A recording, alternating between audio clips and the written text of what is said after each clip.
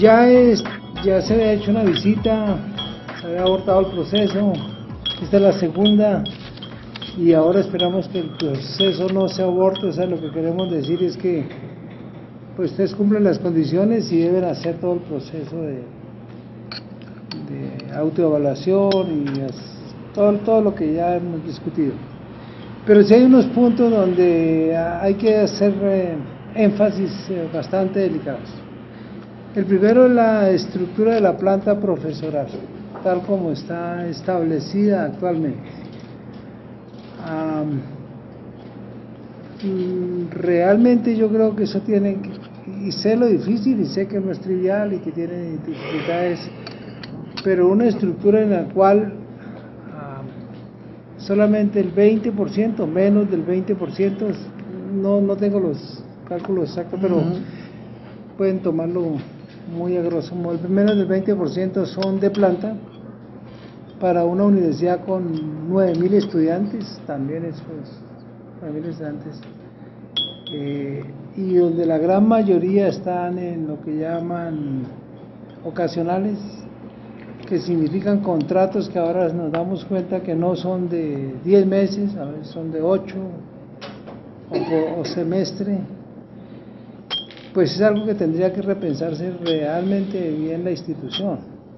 Ese, es un eh, punto, pero central, central. Se nota eh, los problemas de una estructura de esos en cuestiones tan simples como lo comentó algún estudiante, dirección de, de un proyecto de grado, donde el que dirige es un profesor de hora, eh, ¿cómo es? Ocasional, y lleva un año sin que pueda reunirse porque la otra persona no, pues está contratada o no, no le ponen interés o lo que sea. Pero eso realmente tiene una incidencia muy directa sobre la calidad. Me ha dicho eso es, es vital y tienen que repensar realmente cómo se puede revertir eso. Eh, qué correctivos hay que hacerlos. Tal vez en lo de la formación de profesores sí realmente se ha hecho un esfuerzo muy grande y lo reconocemos, eso se ha mejorado, pero yo creo que tienen que atacarse ese punto. Lo mismo habría que repensarse en lo de hora cátedra, que son necesarios, por supuesto, pero no puede ser un número tan... O sea, es mayoritario. O sea, una universidad de más de 9.000 estudiantes con un cuerpo profesoral de eso tiene, tiene dificultades. Y ustedes yo creo que lo, saben. El otro punto tiene que ver, y eso también yo creo que ustedes lo reconocen muy bien, y es, ahorita que veníamos ya tiene mérito de hacer lo que hacen con una planta física al momento. Y hay que tener presente lo siguiente, se acredita lo que hay no futuros. O sea, el futuro es un plan de desarrollo para mejorar, pero se acredita lo que hay. Pues la planta física sí realmente está mm, muy, muy restringida para el número de estudiantes. Pues uno, ahorita que pasamos ahí de, para la biblioteca, eh, también tiene mucho mérito. O sea, ahí el que se levante de un asiento no encuentra puesto, porque lo ocupa están en el piso. No sé qué tan cierto será de los estudiantes que dijeron que recibían clases en el piso, no, no sé qué tan cierto será. Pero aparentemente la posición de aulas y espacios es una cosa que pues hay que mirar cómo se soluciona. Pues vimos ahí el proyecto de la, del nuevo campus, pero eso es también futuro no actual, o sea, lo que hay es una maqueta, creo entender, o sea, y entendemos que, como lo dijo el señor rector, eso no es una cosa que se hace chasqueando los dedos, aún teniendo la plata. Porque usted puede tener el dinero y el pot, pat, eh, todo eso comienza a complicar la cosa. Además de que hay otro problema de, de desplazarse a la parte norte de la ciudad, puede causar también problemas serios de, digamos, de desplazamiento de, un número de estudiantes, más del que hay en esta ciudad. Pero bueno, ese es otro punto que hay que atacar muy, muy seriamente. espacios para oficina de profesores, por casualidad entramos a mirar, pues es que realmente no hay una, no hay un, no estamos diciendo que haya oficinas para profesores, pero un cubículo donde un profesor pueda en unas condiciones adecuadas pues atender a los estudiantes y trabajar y no visitamos la parte de laboratorios, pero eh, ese también es un punto que tienen que aclarar. Cuando hay un espacio muy pequeño con siete personas, como dijeron, o como vimos, pues un profesor no puede atender, no puede. Eso sabemos que es difícil porque el espacio está muy reducido, está muy encerrado. Eh, respecto, digamos, a la, a la forma como se hizo toda esta visita, pues sí tenemos críticas serias a esto.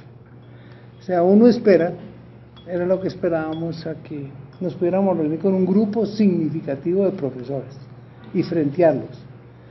Realmente fue muy, muy reducido, pues de hecho el espacio se hizo acá, y acá pues la mayoría de los profesores que asistieron eran los profesores, eh, ¿cómo es? Eh, ocasionales. había un par de, de tiempo completo, pero no.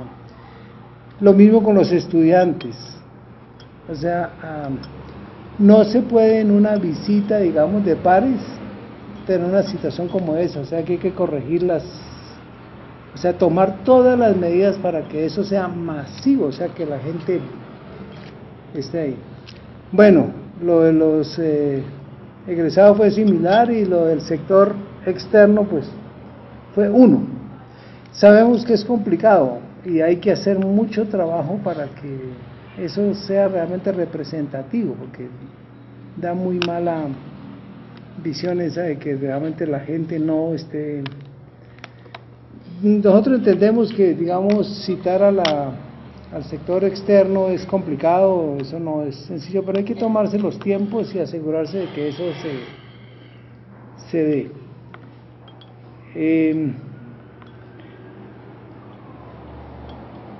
yo, digamos, esos son los puntos, pues discutimos un poco con Carl, pero no sé, central, central, estructura, infraestructura, infraestructura de planta profesional. planta profesional. Y la infraestructura pasa también un poco por la por la parte informática que ahora dicen que no están conectados, que volaron el servidor o que no sé qué, pero eso también es vital ahora.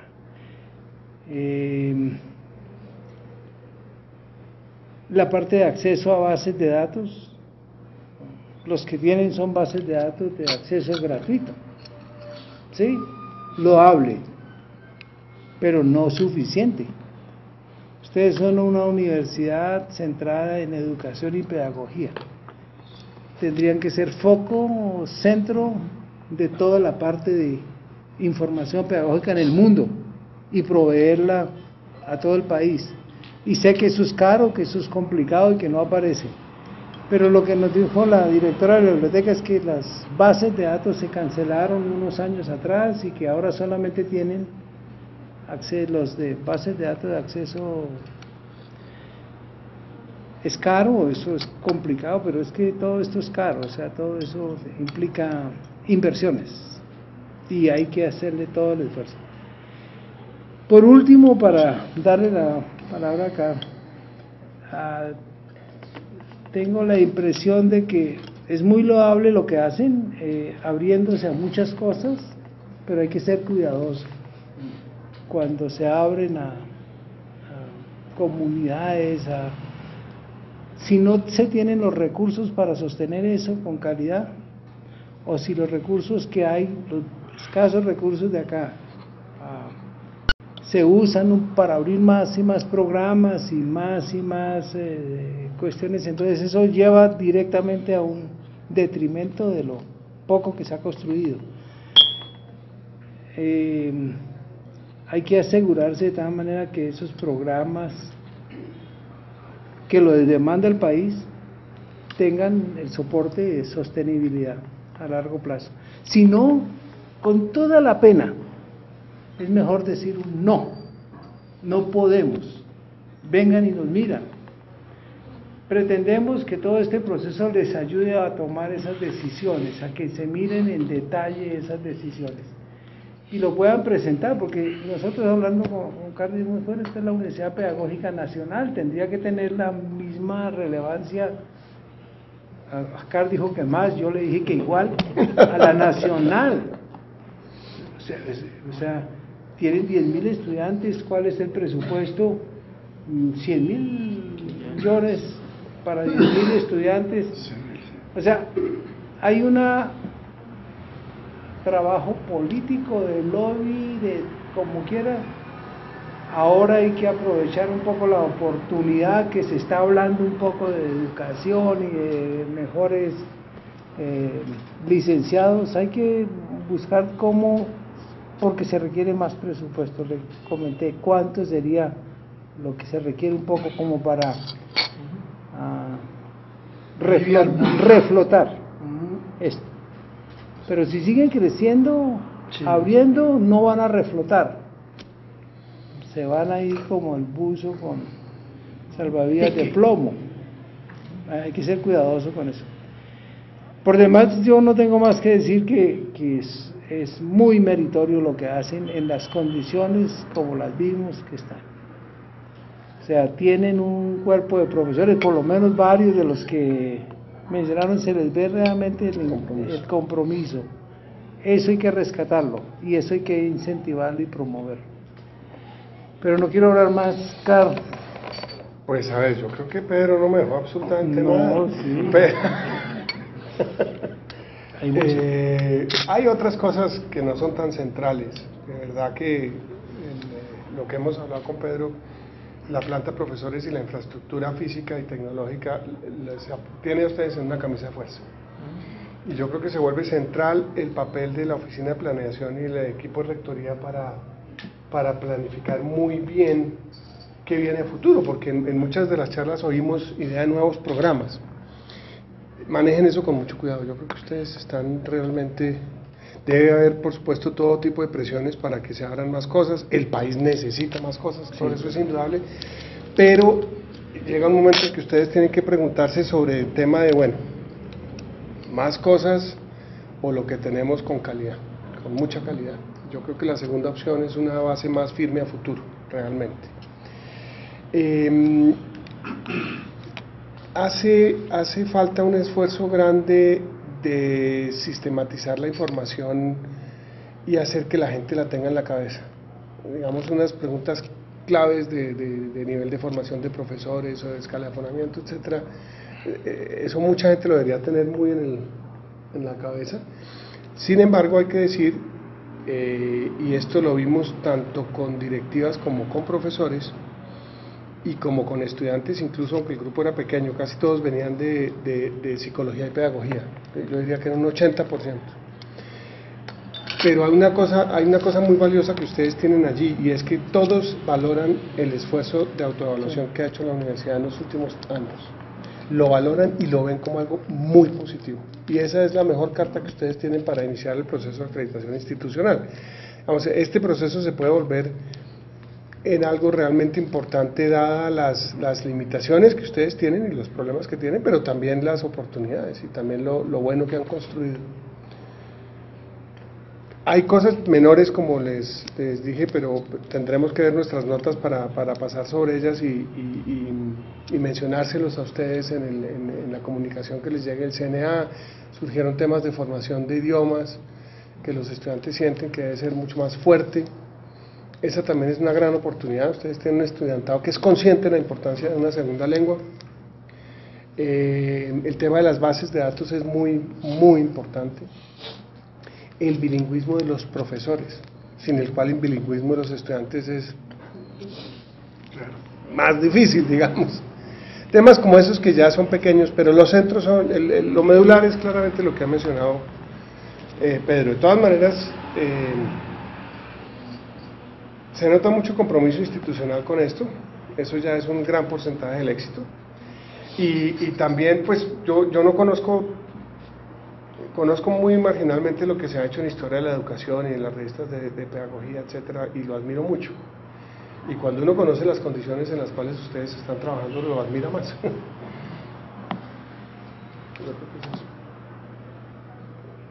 Sí, creo que faltó en la información algo que tenga que ver, que tenía que ver con lo de investigación. Uh, Em, el documento. el documento realmente que nos mandaron de condiciones iniciales no hace énfasis en ese punto, o hace un listado de grupos, 167 grupos. Eso es- 167 grupos y tal como me lo presentaron que no es cierto, que no es cierto, sí, Eh, tendrían que optar por una política de concentración y fortalecimiento, no una política de, de, de mucho de dispersión. Eh, nosotros nos basamos y, usamos eso para las acreditaciones de varios programas de algunos clasificación de conciencias anterior, pero la información que se tiene no, no, no reflejó eso de, de la clasificación como un indicativo, no como la única. Em, nos eh, indicaron una cifra, creo que no la diste, o quién, Ah, el de planeación, de lo que se estaba invirtiendo. Me pareció un número razonablemente decente, cerca de 10 mil millones, 11 mil millones en la parte de investigación. Pero eso, señores, se tiene que reflejar directamente en resultados, porque es una inversión alta. O sea, la cantidad de, de- de productos que tendrían que salir de eso con esa inversión tendría que ser mucho mayor que la que aparentemente hay. Y no puedo decir más porque no la he mirado bien en detalle. Pero los, los padres sí la van a mirar eh, bien en detalle. O sea, ah, probablemente se va a requerir realmente una cuestión de, de seguimiento un poco más a lo que se a lo que se invierte en eso y el producto que sale. Uso, por ejemplo, algo que mencionaron, la universidad está mm, apoyando salidas a presentaciones de congresos y cosas de esas. Mm. Señores, eso es una política sana siempre y cuando quede algo, lo que yo llamo negro sobre blanco. No se puede simplemente apoyar a alguien que va a poner un póster y se acabó el póster y se acabó la cosa, eso no quedó en nada. Tienen que apoyar eventos donde quede algo sometido a la crítica internacional. Eso inmediatamente da un efecto de que, ok, entonces vamos ahora a ir a las cosas donde realmente tengan un cierto nivel y esté bien organizado para que se pueda hacer eso. Y los productos comienzan a aparecer. Eso es magia. Entonces, si alguien se compromete a ir a una de esas, tiene que mostrarle a usted, esto es lo que voy a presentar, esto lo van a publicar, lo van a presentar en tal revista. Que se lo acepten o no es algo que ustedes no, no tienen que hacer nada, pero que lo presentó sí. Y con muy buena probabilidad, con una cierta dinámica, eso sale. Esas son políticas que conducen inmediatamente a que aparezcan productos. Y el que no cumpla, señor, gracias, pero la próxima vez, mire, usted no nos cumplió. Eso se genera. Eso es una política que está implementando. Usted lo hace, la, la Universidad de Antioquia lo hace, la Universidad del Valle lo hace. Evita la dispersión a un poco ¿no? de eventos, que hay muchos en el mundo que no producen nada, pero nada. Que es muy bonita la reunión, pone el póster y la, la, la, y so what. Entonces concentran a, a reuniones realmente serias. Y, y hay pocas y son exigentes. Son reuniones donde usted manda y primero le evalúan. ¿Vale la pena o no vale la pena? Y eso ya es un factor de calidad. No vimos lo de investigación en detalle, pero eso es una sugerencia. La otra parte que tampoco vimos en detalle es, es- hay tantas cosas, revistas. Aparentemente tienen unas buenas revistas, el de la educación, bueno, ahí vi varias, vi muchas, tal vez muchas. También tienen que mirar eso, realmente si esa política es sostenible por costos, distribución, eh, contribuciones externas a la universidad y nivel de la revista. O sea, tendrían que hacer una evaluación muy clara de realmente si vale la pena incentivar a que se publiquen las revistas internas o más bien a que se mande revistas ya posicionadas por fuera y tener unas cuantas que sí es necesario donde haya contribuciones externas, que eso sube las... Pero eso no lo miré en detalle, pero yo creo que hay que repensar realmente a cuántas, porque el problema no es editar una revista. La número uno, volumen uno, eso está lleno este país de eso. Sostenerla y mantener la calidad, eso es lo que es realmente complicado. Y los costos son enormes y los costos luego de distribución son mucho más enormes, entonces el resultado neto es que muchas universidades están cajas o bodegas completas de revistas que no se pudieron distribuir por físico costo.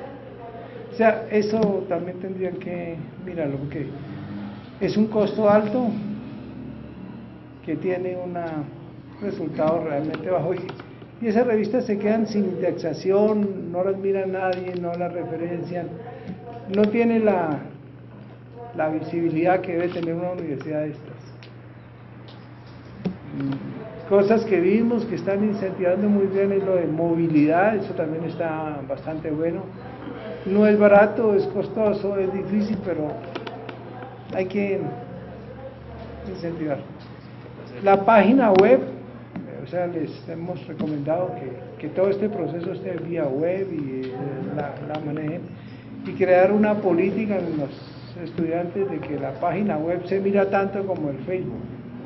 Difícil, pero hay que hacerlo. De tal manera que las cosas se están moviendo. Eso ya son, digamos, sugerencias, no tienen que ver con eso para, para lo que es una universidad con una cierta visibilidad. Bueno, no sé, de parte de ustedes. No, yo creo que reiterarles el, agradecimiento por el tiempo que nos han dedicado sin lugar a dudas en, los aspectos críticos yo creo que, que somos conscientes de ellos y, el hecho de que desde fuera se nos lo recuerde yo creo que nos permite eh, contar con un elemento adicional para toda la gestión que hay que realizar y para lograr el compromiso del Consejo Superior en relación con este proceso, que es muy importante en la medida en que él es el último, es el que va a autorizar presupuestos, ampliación de planta de profesores, y va a poder incorporar eso en la perspectiva del, nuevo plan de desarrollo. Yo creo que en eso, en eso mal haríamos nosotros en entrar a justificar esa situación, cuando de hecho incluso la hemos venido eh, también poniendo de presente en distintos escenarios.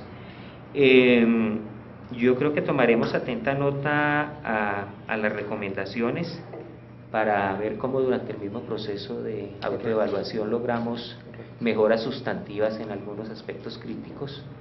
Parte de los recursos CREE de este año se van a destinar, entre otras cosas, a atender ya aspectos muy puntuales de los que se han señalado, el tema de bases de datos, de fortalecimiento del acceso a la biblioteca en virtud de que no podemos construir en este momento una gigantesca biblioteca, pero sí podemos proporcionarle a la comunidad de estudiantes y de investigadores mejores eh, posibilidades de acceso a bibliotecas virtuales y demás. En eso creo que, que, estamos mm, totalmente comprometidos.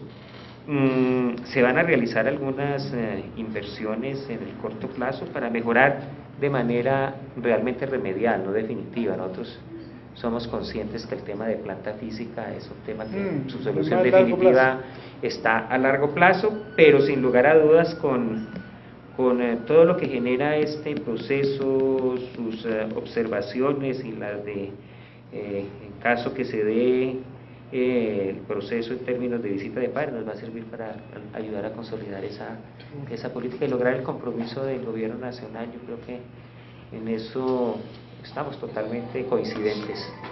Y es que hemos hecho, entre otras cosas, grandes esfuerzos para que se nos escuche y la universidad salga de un bueno, por un lado es ostracismo a la que ella misma se sometió. Eso no es gratuito, el que no se le reconozca como debería, tiene que ver también con dinámicas institucionales, pero por otro lado el que entre eh, a ser debidamente reconocida y apoyada pues, por el gobierno nacional, en virtud de que esta es una universidad nacional en donde en este momento de esos 100 mil millones de pesos, el 57% lo entrega el Estado, el resto es gestión de recursos propios. Este año tuvimos, entre otras cosas, un incremento sustantivo de ese presupuesto, se incrementó con respecto al año pasado entre no, el 25 no, pero y de el lo 30%. que se le dio ahora a las Eh, universidades el públicas, ¿cuánto? 2.6%, ¿No más? solamente el O sea, 2.6%. eso fueron que como... Tres. 3.900 millones Sí, de 3.823. créditos. Sí. Más. Además es que, es que por recursos se, re- se- este año ingresaron mucho menos, un 40% menos de lo que estaba inicialmente previsto en términos de recaudo. El recaudo fuerte se va a hacer el año entrante y en el 2015. Y lo de la estampilla es un punto Mm. central. Sí, estaba, entre otras cosas, haciendo parte de las gestiones ahorita por la tarde para efectos de la... Me imagino. Sí, sí, estamos en, ese, en esa... eh, pues eso es una carrera contra el tiempo en este momento para la universidad. Pues, claro, total. El hacer efectiva la, la, la ley con el, el recaudo en el distrito. Muy bien, sí. Eso sería un hit. Bueno, no sé si algún otro comentario. Yo creo que es- esperamos tenerlos por aquí un poquito más adelante para, para poder dar, entre otras cosas, sí, eh, tema de lo que la universidad está haciendo. Estamos en un proceso de revisión de las políticas de investigaciones, en donde muchas de las observaciones que se hicieron se han contemplado, porque somos conscientes de que no es el número de grupos eh, lo que le da eh, razón al- a, a- a la importancia que se representa en la investigación, sino a la calidad de, la, de, lo- de los productos y de, los, y de las prácticas de investigación. Eh, igualmente con el tema de la política editorial. Eh, por supuesto que las revistas eh, tradicionales de la universidad son revistas que llevan 10, 20, el caso de la revista colombiana de educación, Sí. una revista con casi 40 años, o sea, en eso hemos, pero tenemos que, entre otras cosas, actualizar la propuesta editorial para incluso eh, lograr que lo que produce la universidad y los artículos de investigadores ex- eh, internacionales que publican en nuestras revistas llegue a un mayor número de personas con una clara política de, que, de acceso gratuito porque también entendemos que como institución pública, con recursos públicos y por la naturaleza de la población inicial a la que estamos dirigidos, debemos asegurar que ese acceso sea, sea gratuito. Y no, yo creo que en cada uno de los campos hemos tomado atenta nota el tema de, de los profesores, por supuesto, que es un tema que somos conscientes y vamos, yo creo que esta es una, una oportunidad, entre otras cosas, para que lo que tenemos previsto agendar en el Consejo Superior de Incremento de Planta lo podamos programar de una manera además escalonada, porque el- ¿Cu- ¿Cuándo tienen esa reunión con el Consejo Superior? nosotros tenemos prevista presentación del plan de desarrollo hacia 25 de octubre. 25 de octubre. Ah, lo decía para que el concepto llegara antes. Sí, sería muy importante. Pero no alcanza, ¿no? Porque Pero igual podemos en el momento de discusión de presupuesto 2000 Bueno, pueden mencionar. podemos mencionar. No, yo he tomado aquí atenta nota, eso sí es- suelo ser muy incisivo, pero por supuesto que el, el documento va a ser muy importante Ah, y va a sí. ser muy bien recibido Nos por el- reunimos creo que 24 y 25. Sí, 24 y 25. Y, y entonces el concepto les llegaría a ustedes la semana después. Bueno, Pero no, eso en su momento Es exactamente el comunicamos. Noviembre 20. se puede. Es exactamente el 25. Sí, sí, está previsto por agenda. Entonces vamos a intentar que podamos mandar el 24. Ok. Sí, porque es muy Si importante lo pueden presentar, claro, sí. por supuesto que para nosotros va a ser un, Ahora un apoyo sí. muy importante. Que si, podría, si se podría complementar alguna, algún tipo de dato, pues yo creo que no sé, señor rector, si nosotros estaríamos como en disposición también, porque usted decía que hay alguna información que faltó. No, No, pero no, eso pero ya no es- para pero efectos de lo que este viene es en un el documento proceso. muy general. Este Ok. es un documento no, muy no, general, sí. entonces. Eso no afecta a esto, no Sí, afecta pero- a este proceso. Para la, ya para el proceso Sí. con los pares es... Sí, en eso Vital, ahí sí se vuelve importante. ya es claro. Para eso hemos claro. previsto un- un- la, la conformación, no sé si se alcanzó a presentar algo de nuestro sistema inicial de información, no integrado, sino un sistema de información integrado, porque Sí. somos conscientes Sí. de las de las falencias que tenemos en eso, pero ya Aquí también hemos, hemos venido, hemos venido avanzando en ese tema y no estaremos yo creo que lo primero es que vamos a hacer una comunicación a la comunidad de, de, la, de la visita muy, muy amplia, porque además pues eh, esto tiene un, un carácter simbólico en relación con el proceso de autoevaluación muy importante. Así Bueno, es, sí, claro sí. que sí. Gracias, doctor.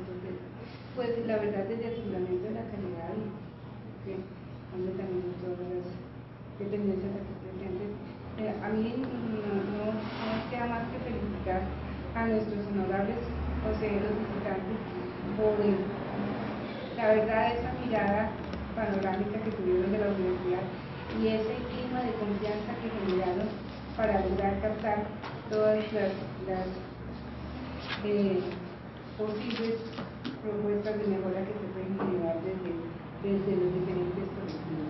La verdad eso fue un aprendizaje también para nosotros, representantes de la calidad, cómo podemos de alguna manera también eh, realizar procesos de autoevaluación desde algunos colectivos eh, con una mirada, obviamente, en cada de ellos, una, unas, unas funciones más proactivas.